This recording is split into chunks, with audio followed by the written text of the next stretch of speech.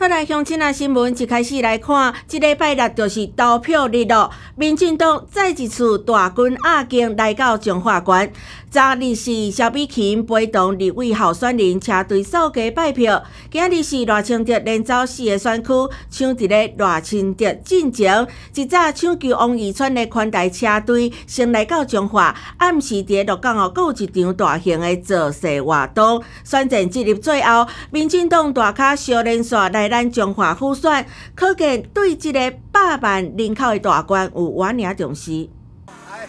民进党不分区立委候选人王义川的宽带车队来到彰化市，身为地主的立委黄秀芳准备了彰化在地美食，国卡准备游泳裤啊送给王义川。哦，秀芳要送他呃一个游泳圈，哦，对，希望大家能够把阿川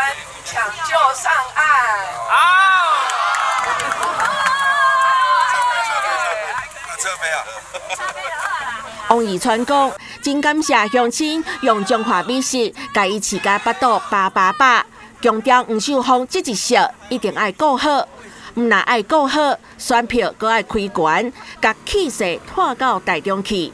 因为彰化市是中台湾最重要的选战据点，彰化市的选票如果开甲真悬，我就有机会咯。彰化市是整个中台湾啊，这个政治地理最要蔓延。最重要的一个基地，这个基地只要冲过去了，冲到台中了，那民进党过半就没有问题。啊，所以拜托大家哈，咱中化区的票一定要开加水水水哈，让赖清德才能够稳定的这个超过百分之五十当选总统，那民进党在国会才能过半，尤其是我。嗯。加油！彰化市如果票开得很高，我就有机会了。伫咧王义川的宽道车队了后，总统候选人赖清德嘛再一次来到彰化复选，国家黄秀芳这回用车队伫咧彰化市区扫街拜票。